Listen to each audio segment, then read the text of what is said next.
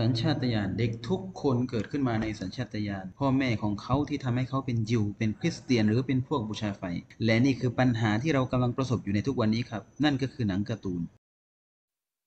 ซึ่งมันสอนเด็กๆเกี่ยวกับไสยศาสตร์ จนกระทั่งเรื่องเวทมนต์ในภาพยนตร์การ์ตูนนี่กลายเป็นเรื่องที่เห็นพ้องต้องกัน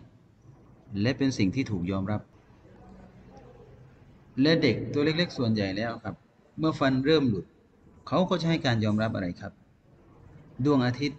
แล้วเขาก็กล่าวว่า โอ้ ดวงอาทิตย์ โอ้ ดวงอาทิตย์ โปรดเอาฟันของฉันไป ถูกไหมครับ ดวงอาทิตย์จะให้ฟันแก่คนหนุ่มหรือจะให้ฟันแก่คนแก่หรือ นี่มันคือชีริกใหญ่ และเด็กหนุ่มของพวกเราก็จะเติบโตตามที่บิดาของเขาเคยปฏิบัติเอาไว้